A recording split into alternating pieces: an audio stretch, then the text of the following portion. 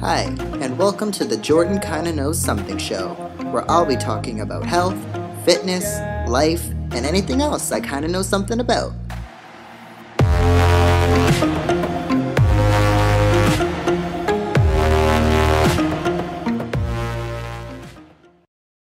Hello, everyone, and welcome back to another episode. Now, today's episode is another super exciting episode. Today, I talked to Cindy Lou. Cindy Lou is a published author, a personal trainer, a traveler, craniosacral therapist, and a theta healer teacher and practitioner. So today I am talking to Cindy Lou about theta healing, what theta healing is, how it can help you, the benefits of theta healing, and if you're a practitioner out there, we also discuss how theta healing can help you and your patients. I hope you enjoy this episode and let's get into it. Alrighty. Hello, Cindy Lou, and welcome to the podcast. Um, Hi, Jordan. Good to see you. Yeah, no worries. So, um, Cindy Lou, we know each other because we worked together back um, when I was in uh, Vancouver or New Westminster. Um, we worked at a gym for, I believe it was two years, a little over two years. So, got to know each other through there. Um, Cindy Lou, of course, is a personal trainer amongst a whole bunch of other things. So if you didn't mind, Cindy Lou, maybe um, did you mind introducing yourself? Um, kind of what you're doing right now, where you're living, maybe um, whatever you feel like opening okay. up with. Well, um, I'm Cindy Lou, and as Jordan said, we met through being a personal trainer. But the personal training side of my life is kind of like the current mostly of where I've been to. I'm I'm a big fan of um, living your best life and doing lots of things. I've never been one for just one certain career. One of the things that my life has always followed, though, is um, being a holistic type of a lifestyle of some sort. It's always been a part of my world, from being a vegetarian to cleansing and fasting, um, learning about energy and essential oils to cranial sacral therapist. I became, and um, my one that's ran I've been doing for almost I guess 16, 17 years now, is uh, theta healing, which is one of my biggest passions because it works with absolutely everything that I already have learned in what I do in my life, and it empowers other people, and I just love it for what it does. And so that's kind of me, and I'm still living in New West. I love to travel. I love meeting new people and experiencing new things. I've traveled a lot around the world, been to lots of different countries, and I really have been have a very blessed life. Yeah. Yes, yeah. And Cindy Lou and I have always had some amazing conversations whenever we were at mm-hmm. work about everything. So she's uh, definitely uh we can definitely talk about anything and everything. So that's what I uh that's what I really liked. But um I was really interested about learning about theta healing um while I was at work and while discussing it with Cindy Lou at work. Um, it's a very interesting thing. It was brand new to me. I'd never heard of it before. Um, and then when kind of I learned more about it, it, it made a lot of sense to me in the sense that um, you knew kind of what it was working um, towards. I kind of knew, or I kind of learned the benefits. So I thought it would be cool to talk about it today um, to everybody else and to all the listeners, um, and to kind of um, dig a little further into theta healing. So um, maybe if you don't mind starting out with what exactly theta healing is for anybody that doesn't know. Well, theta healing, first of all, is quite big in the world compared to when I very first started with it. Um, it is in many different languages, and it is for anybody that has the belief system or the idea that they are influencing their life in some way, shape, or form. Like by your belief systems or your emotions that you do actually have some control over what's happening in your world. So if you believe that and you believe that you can influence it or create your own reality or anything along that line, um, then you would find theta healing very intriguing of the concept of how using this modality is very empowering for you to work on yourself. And that's one of the things that I liked about it for all the um, modalities I experienced throughout my life was this is one that you can use completely on yourself. And it works well with other modalities too so it's not limiting. Like some modalities they say oh well you can only do it with this or that but theta healing is one that's you know pretty much for anybody that believes that. It's what it works with is that first of all you have to have that belief that you actually believe you create your own reality. That's kind of a, a given. And then the second part is what you're learning how to do is um, understanding the brain waves. And understanding that a theta brainwave is what we um, what you learn how to attain without having to meditate for hours and hours and hours. Like the back in time you know people that the monks and things the people that really got into heavy meditations and they meditate for hours or fasting and things like that would actually create a theta brainwave because they knew that there's some some magical thing with the theta brainwave that caused you to be able to see things as energy feel it know that you just go beyond your reality almost be able to see things as as energy and also to make changes. So with theta healing that's basically the basis of it. So through muscle testing and i know there's lots of different ways to muscle test and in theta healing we have a specific way we muscle test to find out what you think what you believe um, it can help you change your world if you want to. Again it's up to the individual person because it we have the concept of free will. So you can't make anybody be something or change anything for anybody. Even if you're looking at their lives and you can see like, oh my God, like they're just going down a path that you can maybe see that might not be the best for them. It's still their path. And theta healing is also about there's no judgment about right or wrong or good or bad. It's about what's working for you in your reality for what you're wanting to experience because we're just all here having experiences on what is working against you. And then looking at what's working against you for what you're wanting to experience and deciding what you want to do about it. And so what would happen was is that if you came to see me and you said i my question i would ask you is well what do you want to change about your life or what's happening in your life that you're finding unpleasant? And we'd have a discussion around it. And through muscle testing we find out what you actually believe that's creating this. And a belief is just a thought that you think a lot over and over again. And some of it can be um, ingrained like some studies are saying it can be in your dna it can be in your genetics it can be in many different ways. They're always discovering things about us as beings and it's changing constantly. But through theta healing we believe um, the modality believes that it's in your dna and it's in your genetics and it's on a soul level and a history level that you could have belief systems that you're not really aware of and then all of a sudden they start to manifest in your reality because something triggered a to come forward and you know like i say it can work for you or against you so what we would do then is if you said okay well say you muscle tested that um, that you're i can just give me something very vague very general um, that you know everybody hates me. Say you went with that okay? So maybe you had the you're experiencing all all this these people being mean to you or something and maybe you have this or would you like to keep it okay? As much as a negative situation for some people it also can be a very positive outcome that they're learning with that belief system. So it's not all like it's bad. It's like okay what is this what has this taught you? And some people might thought well it taught me to stand up for myself or it taught me um, you know who i am or it could be all kinds of things. And it's just about okay do you want to change it? And if you do then as a practitioner with that person's permission i would put myself in a theta brainwave which would allow me to see it as energy and witness it to be changed for you. Okay, so but how would somebody how would somebody know to come and see you though through all of that? So you say it's it's about a belief system. How would how would somebody know that they have these beliefs um, and know that they would want to come in see a theta healer? Well, usually when someone's life is not going the way they want.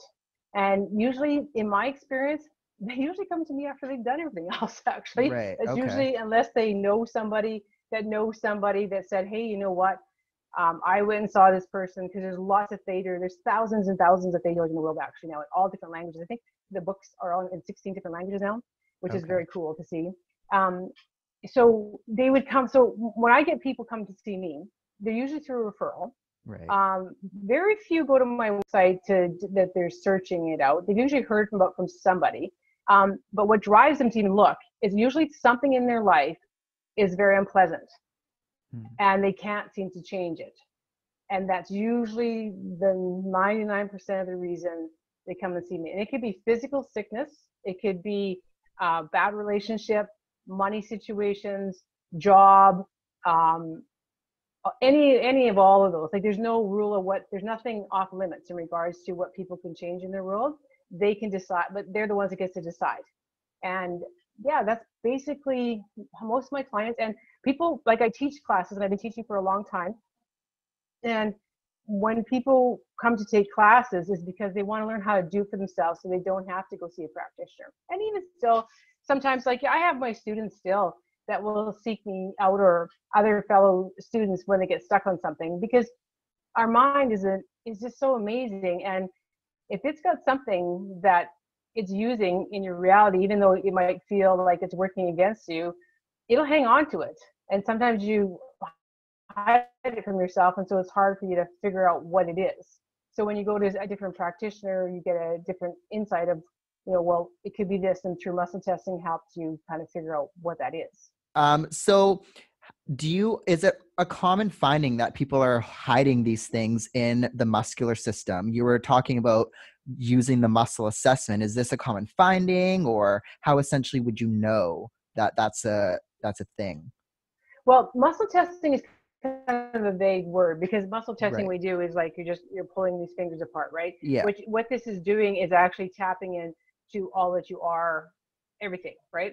So uh, and this can this if, if the person is hydrated and um, they're aligned and everything this is very very accurate in way mm. to be able to testing in the way we do i mean there's all kinds of different ways people muscle test. But people also know they can feel it they get unsettled when you start digging around them they get emotional they know you're getting close to something and at the same time they get to keep whatever they want. Um, i've seen people have things stored all in their bodies like from organs to muscles to bones to you know just you you'll find usually when i start working on some people sometimes will come with a pain a physical pain and then when we're done they have none because we cleared everything that was tying it. Sometimes people need other different things to help them.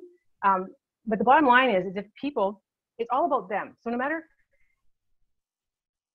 even if they wanted to get better and this is through and even if they went to a medical doctor they'll even tell you when people are, are really extremely sick the doctors will do everything for them.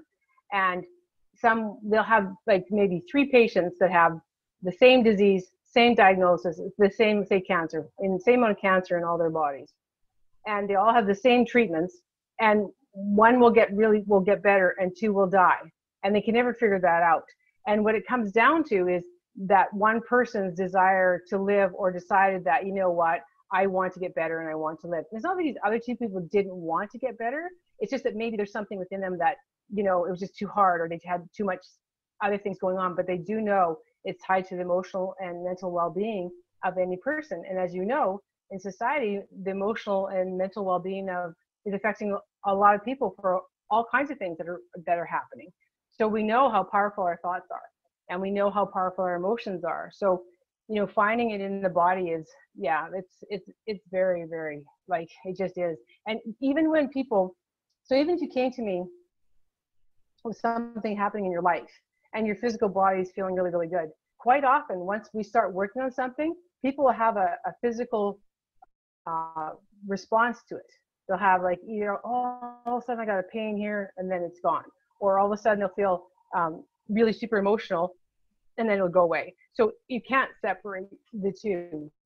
And I've had, you know, when people have done, like when you go right to muscles, it's a long um, answer for your short question, but when people um, say they have a, a muscle, I'm going to give myself an example. Okay. So mm-hmm. chronic shoulder issue, right? I have done massage, uh, myofascial. What is that one that you do that the, the fascia does with the fascia? I can't remember what it's called. Uh, yeah, fascial stretch therapy. Yep. Yeah. Mm-hmm. yeah, yeah. I went and did that. It all was lovely. Okay, mm-hmm. and I I did all everything, and there's no no reason why it, it shouldn't be better. Okay. Right.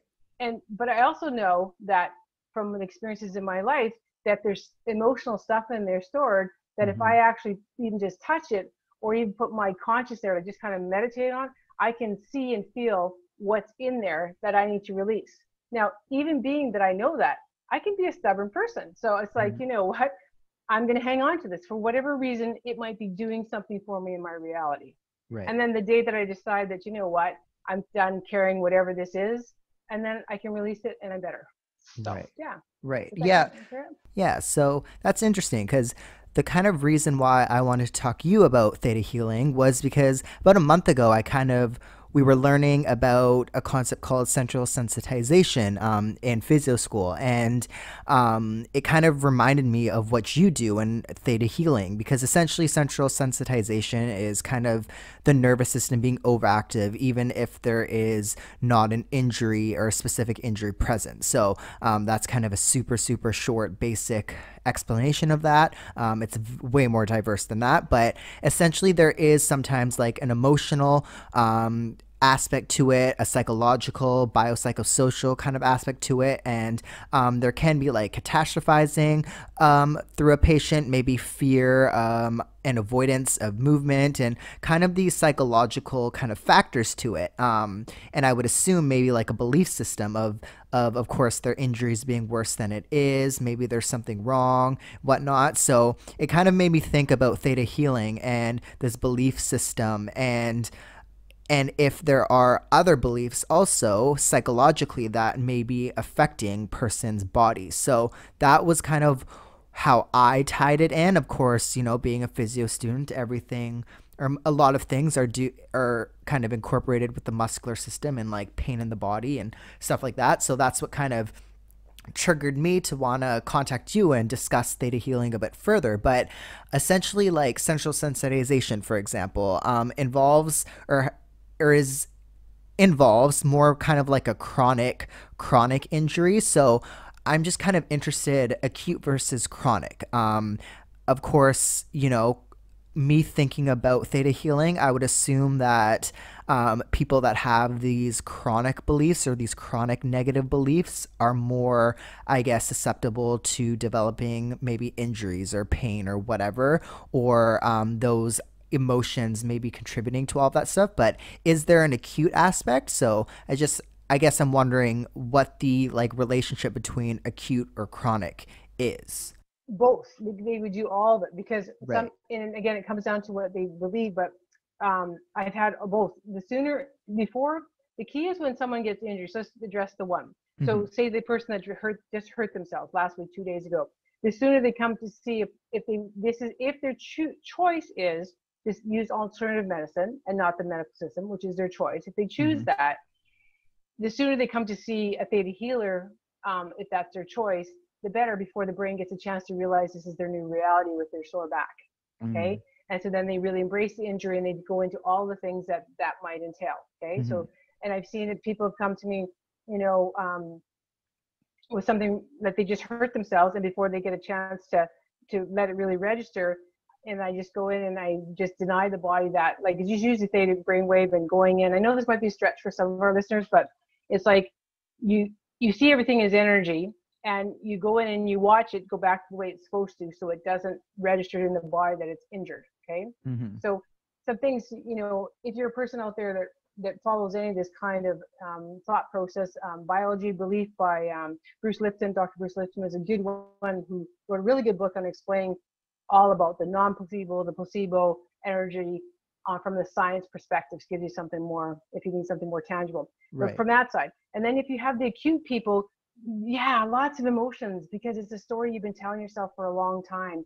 And if you've done everything, like fibromyalgia is another one. Like I worked with a lot of fibromyalgia people. Okay. And um, and that's real pain for them. And it took a long time for the medical people to be able to diagnose that, you know, because yeah. they couldn't find anything. They just, but these people are in serious pain yeah. and um, so much inflammation.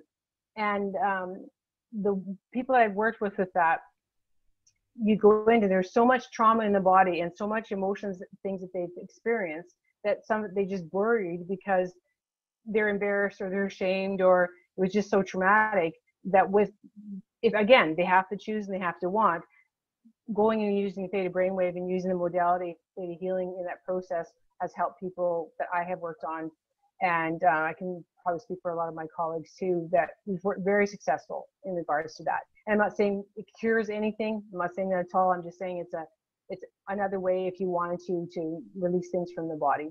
Right, right. Yeah. N- now, I mean, I know I focused a lot more and I've asked a lot on the muscular system, for example. So um, their beliefs may be um, hindering um, muscle but is there anything else that um that theta healing works on can can it involve the digestive system or thinking or um, what else does it benefit pretty much everything okay. Um, we teach we teach i teach one of my favorite classes that's part of the theta healing family of classes is the intuitive anatomy it's one of my favorite classes to teach mm-hmm. you have to have all the other classes and the skills and learning how to do theta healing before mm-hmm. you get there and it is for the person it's not about learning to go work on somebody else it's about working on yourself and so what we do in that class is going into all the systems uh, that we are and working on the beliefs and emotions that are stored there. So it's very, it's not limited to, to anything. Like it's all about the person. So digestive systems, you know, like we have uh, Vianna Stibal, who's the founder of Theta Healing, has a book that anybody can buy called um, Disease and Disorder. It's a really well written book. What she does in that book, it's A to Z. So it t- takes, like, say, asthma. It says the medical system how they treat it.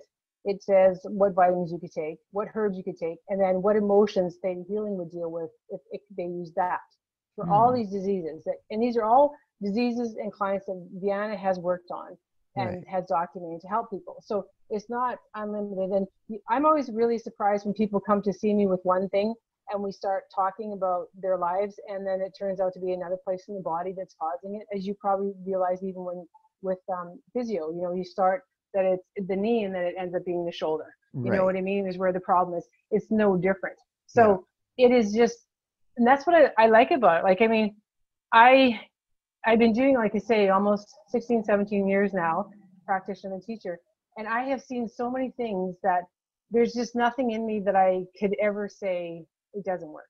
It just works. Right. right. But the key thing that makes it work is because the people that want are looking for something allow it to right so is that yeah. the first step somebody needs to want to look for something yeah they want yeah. to change something just right. something it doesn't matter what it is like i've had people come to me for you know just one thing i can see in their bodies i'm looking at their body and their life and thinking oh my god you have so many other problems here that are so more important than this one thing you want to talk mm. about but this is the only thing they want to change right. and it could be just as simple as that i just would like to can't understand why i can't get a new job Right. And then they'll go through all these things and I'll start talking to them about, well, what do you believe about this job? Like, do you believe, you know, well, I'm not smart enough or I'm not worthy, which is a, can be a common one, but it's pretty vague. But, you know, or my dad told me I wasn't going to mount to anything, things like that, that they forgot about, that all of a sudden they're coming forward every time they try to get to a certain, maybe they're already kind of successful, but they want to really be successful.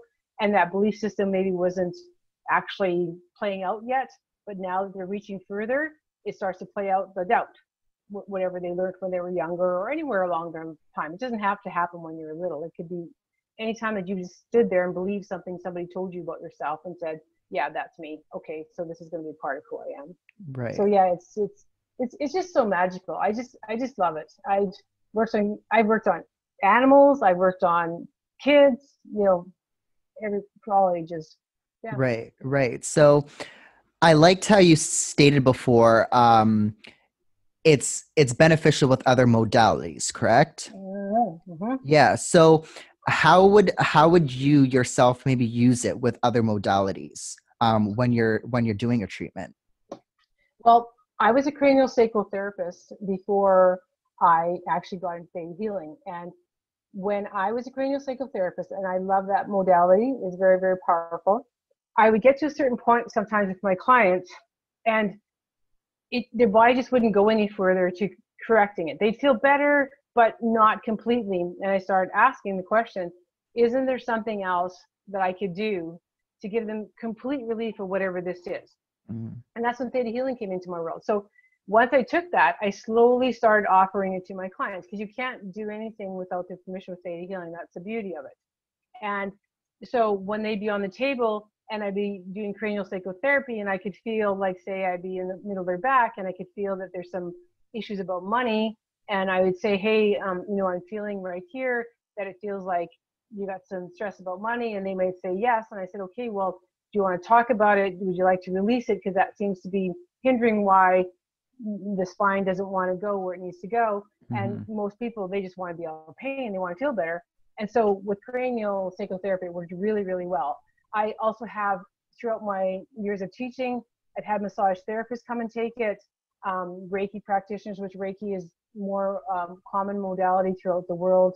It's even used in hospitals now, which is just hands-on healing energy. Um, chiropractors. Mm-hmm. I had um, a couple doctors, a surgeon. Um, they do. It depends on what your belief systems are, but you know, in life, it has been noted that doctors quite often meditate or prayer before they do surgeries. Same thing. It's just a focused thought. That's all prayer is. Focused right. thought, however you want to put with it. And so, yeah, I've like I think in lawyers, I've had almost every kind of walk of life of career that's out there. Like a lot of them, um, come and take it, and they usually do it because it's for yourself, right? It's about cleaning up you. Because the, mm-hmm. the happier you are, that's a big deal you take to the world if you did nothing else. Yeah.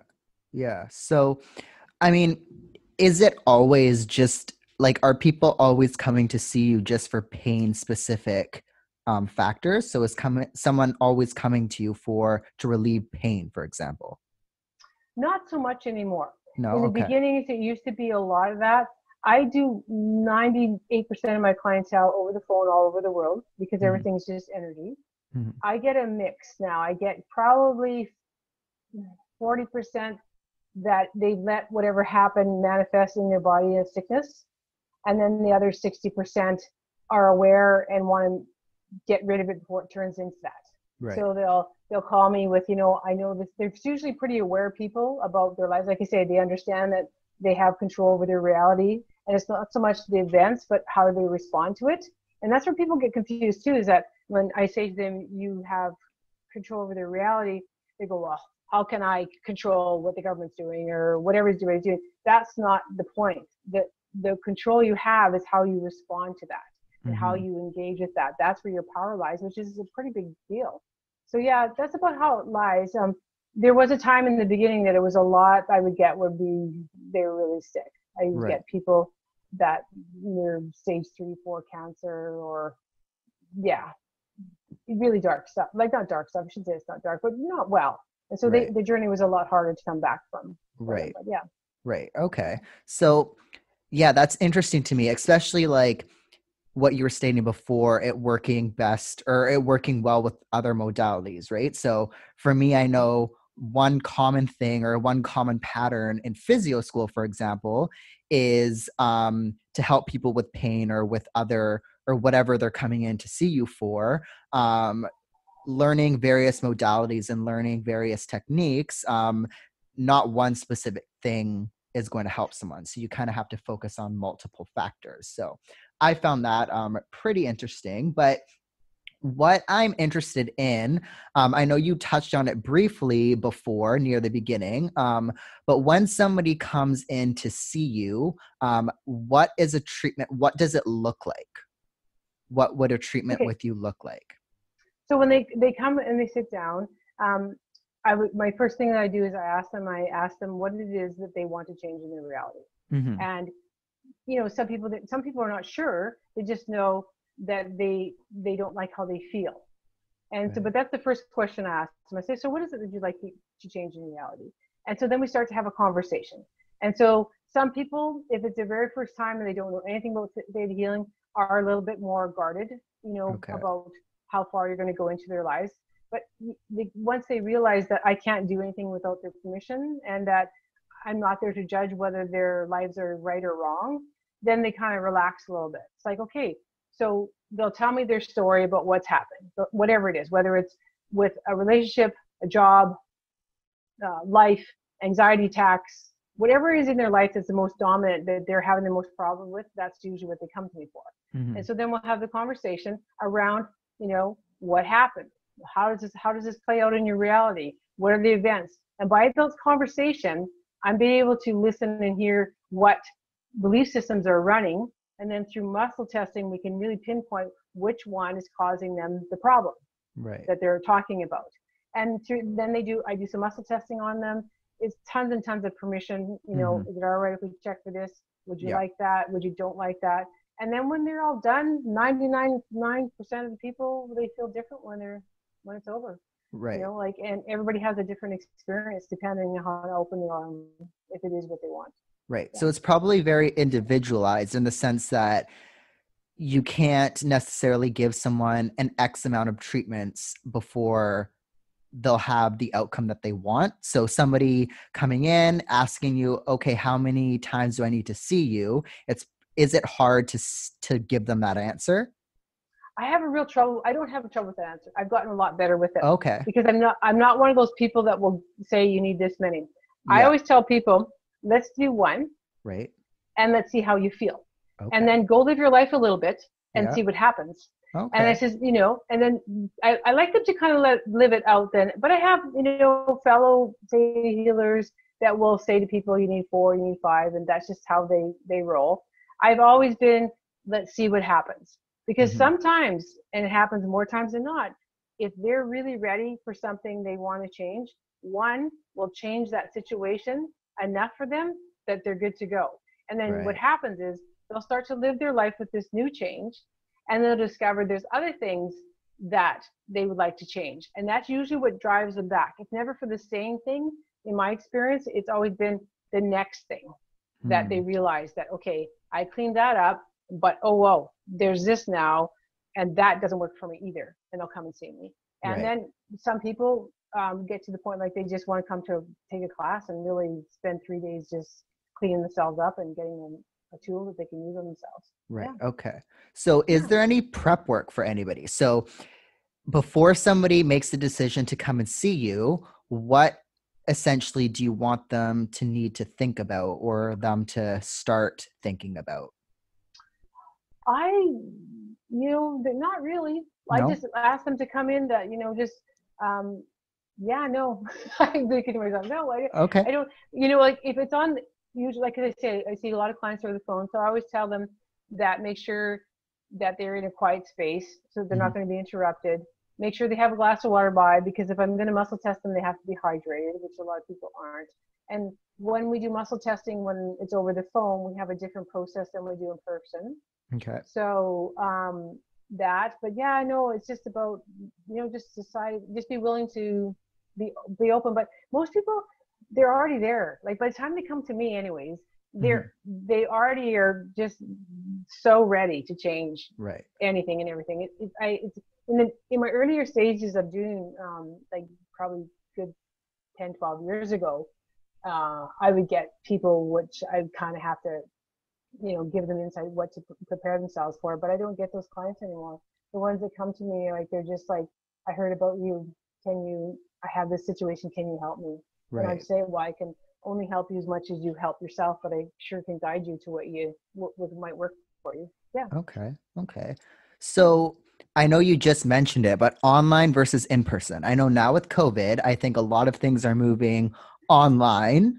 Um, is is that how is that a different process to in person? Like, would somebody somebody like me, for example, I love to see people face to face. So if I'm doing physiotherapy, for example, I want to see a physio face to face. Whereas now, like in school, we're learning a lot more on telehealth, so online physiotherapy and how to do initial assessments and all that online.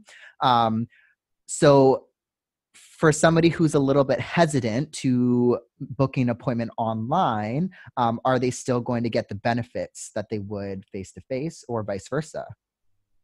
Absolutely. Like they will. Like it's because everything's just energy.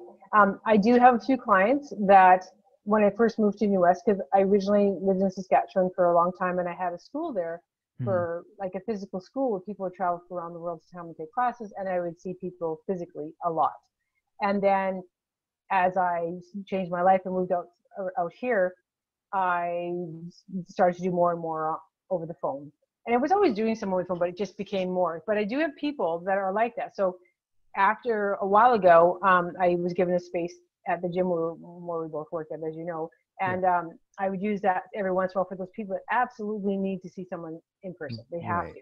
And for me, it's like it works either or, you know. Yeah. And now that because of COVID, I mean, it doesn't affect me so much because I actually prefer to do it over the phone Mhm. because what it does for me is it takes I don't see you and then I can really tap into all of you without Mm. actually physically being distracted by your physical presence. You know, for me, intu- as an intuitive being. Yeah. So I I really do like the over the phone ones more so than in person. Um, not that ones like that is bad or anything, but for what I do. And Mhm. then, of course, when I'm teaching workshops, then you know, of course, I'm working on my students, and it's more in person. Okay. Okay. Yeah. So going into your workshops or going into your students and all of that. So if there's a practitioner out there, let's say a physiotherapist or um, anybody interested in theta healing, anybody interested in um, adding that to their resume and kind of incorporating it into their practice, um, how would they go about that? What do they need to do? Well, what they would do right now, theta healing never used to be able to be taught online. Okay. Vianna, the, the the founder, has been forced down that that way too. She's had to Mhm. do with her business to keep it going.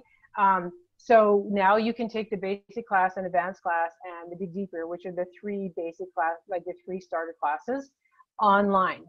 And there's lots of uh, instructors that are certified to do that. Your first class is the basic is three days, the advanced is three days, the dig deeper is two days. Each one of those classes has books and manuals that you would get, and then it's online through Zoom. And um, so you can Google thetahealing.com, which takes you to their major, major site in uh, Montana. I also have a website where we post classes on there. I don't have a whole lot of classes on there right now. I also do classes that are for my students that already are theta healers, so they're kind of like practice type Zoom classes for them to actually work on their issues or whatever that's happening in the world. Mhm. But my website is uh, thetahealinginstitute.ca. Okay. And so um, you can always go there. I have a Facebook page also, uh, Cindy Lou's Corner on Mhm. Facebook, which we post classes there and um, upcoming things. And, and, you know, it's always good to start with a session so Yeah. that you can experience it.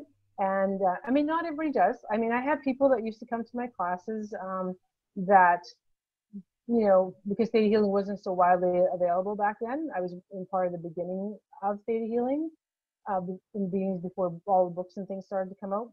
Mhm. And so a lot of people hadn't heard of it. They'd end up in the class. Nowadays, most people that come to a healing class, they've already had a session, know somebody, read a book, something. So they're really Mhm. aware before they even get there, which is a benefit to them. Right. Right. Yeah. Okay. So, for all of the practitioners out there, or for somebody, in your opinion, um, why would you recommend them take a course or take a introductory course? Um, what can it offer their practice essentially?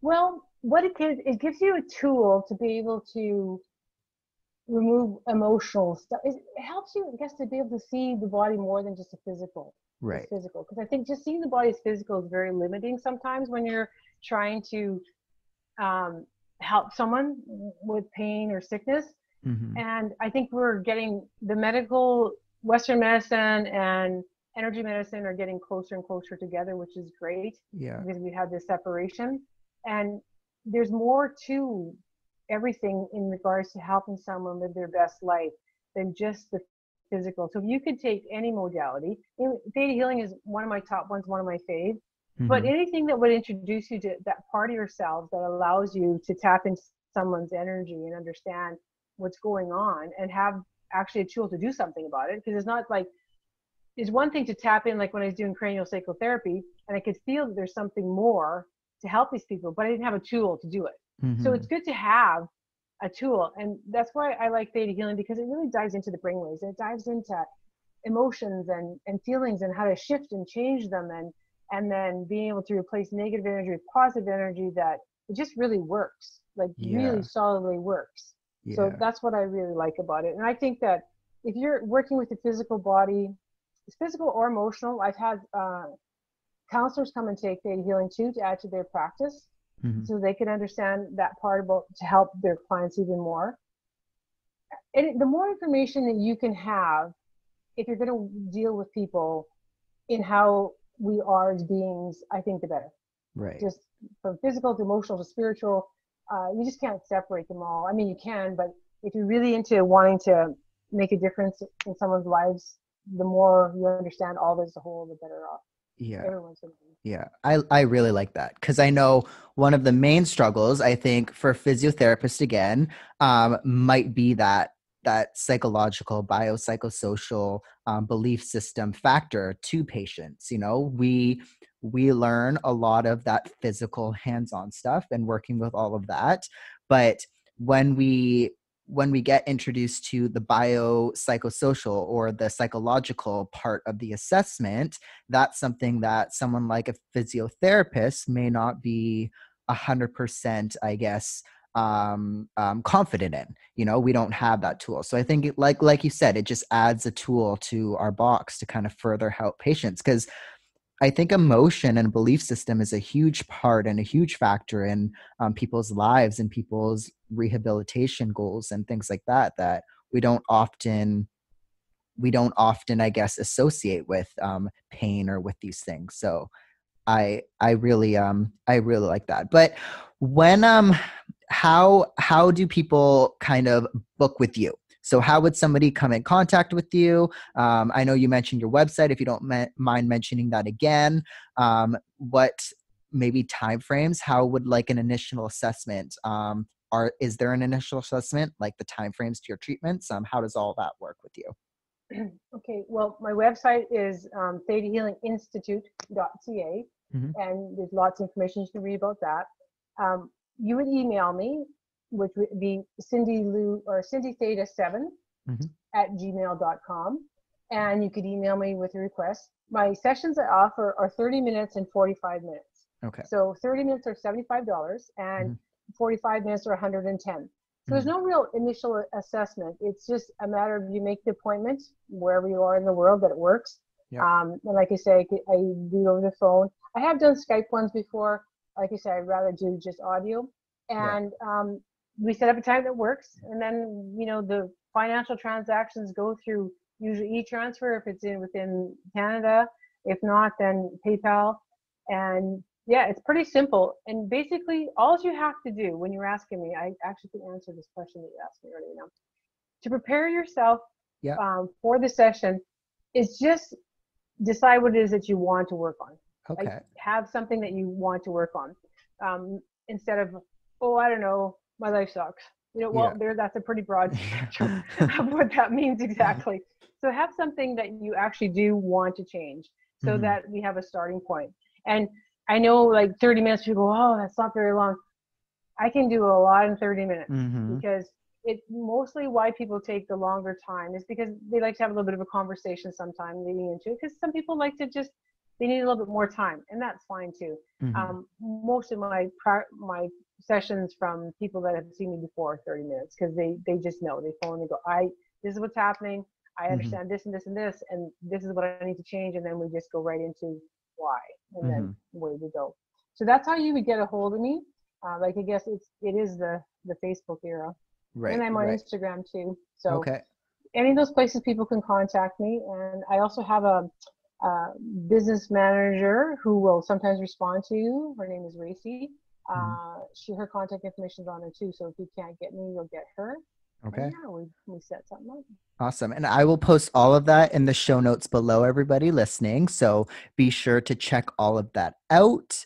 Um, but yeah, thank you so much, Cindy Lou, for um, being on the podcast. Thank you for talking about all of that. I think that was very informative. And I think, I hope everybody listening enjoyed it as much as I did because again, it's things that you don't often think about that everybody, I think, experiences all the time. Um, and not everybody may be willing to kind of work on. So, um, agreed. I, I, I really thank you for um, being on the podcast. Thanks a lot for inviting me, Jordan. I, I love um, talking about this stuff. I could talk about it forever and ever. Yeah. And so it's, and then, yeah. So thank you for having me. This has been great. Yes, no worries. All right. And everybody, again, everything will be in the show notes, Cindy Lou's contact information, her website, and all of that. So be sure to check that out. Alrighty, everyone. That is it for this week's episode. Thank you all for listening to episode three. Next week, I have another exciting guest. And be sure before you leave to, if you're listening on Apple Podcasts, please give my podcast a five star review. It really helps out the podcast. And be sure to hit that subscribe button on wherever you're listening to stay updated for all new episodes. All of these episodes will be released every Tuesday, and hitting that subscribe button just means that they will be all readily downloaded for when you open up the app and are ready to listen. Thank you all for listening, and I will talk to you all next week.